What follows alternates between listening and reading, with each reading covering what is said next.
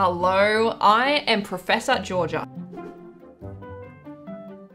Just for today, legal reasons, not an actual professor. But today, I'm going to show you how soap can save an otter's life. Yeah, you heard me correctly.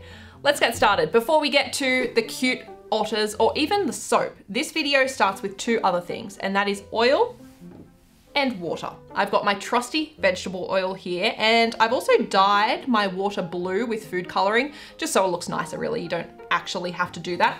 What we're gonna do now is pour the oil into the water and let's see what happens. Looks kind of like a lava lamp. Uh, give it a stir. I'm using the other end of a spoon because we don't have the budget for an actual science lab here at the station. I'm working on it. But you can see here that there's pretty much no surprises that oil and water do not mix. Oil and water are what's called immiscible, which means that they do not like each other. Well, that's not technically factually true. Let me let you in on a little bit of secret. Water does not like oil. In fact, water doesn't really like anyone. The chemical bonds in a water molecule are extremely difficult to break apart. Think of kind of like that clicky group at school that excluded people and weren't that nice. That's water. So you might be thinking, what on earth does this have anything to do with an otter? Can we please get to the otters? I'm getting there, I'm getting there. Now I need you to use your imagination. Just for a second. Imagine that this water here is the ocean. I mean, I've even dyed it blue to help you out. And imagine that this vegetable oil is millions and millions and millions of liters of oil that has just spilled from an oil tanker like this one. Now, because the oil is just sitting there in a layer on top, it is very easy for all kinds of animals to get caught up in it. We're talking seals, seabirds, and yes, of course, the very cute otters. I mean, otters are just there minding their own business. Did you know that they even hold each other's hands so they don't float away from each other while they're sleeping? That is the cutest thing. I could weep. But basically, when they're in the wrong place at the wrong time, like an oil spill, that's when things can get very, very slippery. Get it? Slippery? Because the oil? Anyway. Um, oil is basically terrible for otters. It's terrible for a lot of animals. It destroys their fur so they can no longer self-regulate their body temperatures.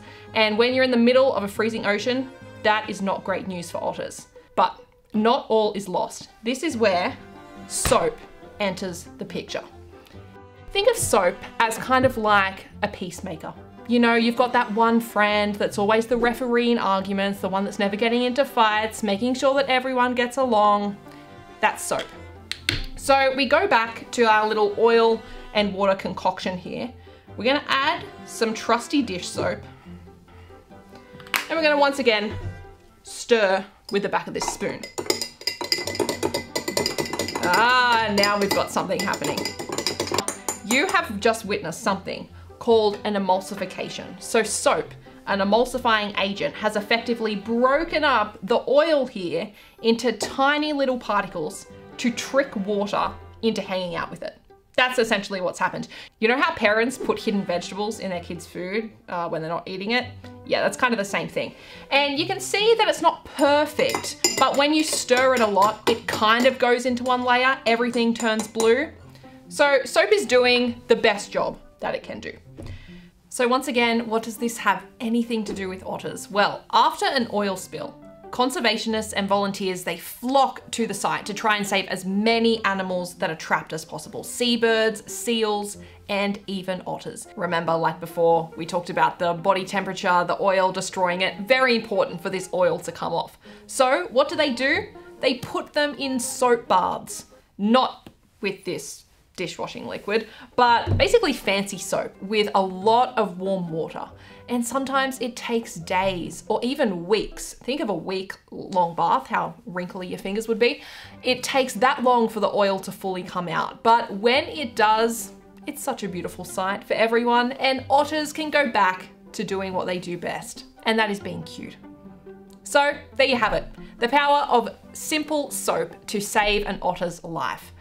Of course, it would be better to use clean energy options like wind and solar and hydropower, things that we all have available to us right now, and have less of these oil tankers floating around our oceans.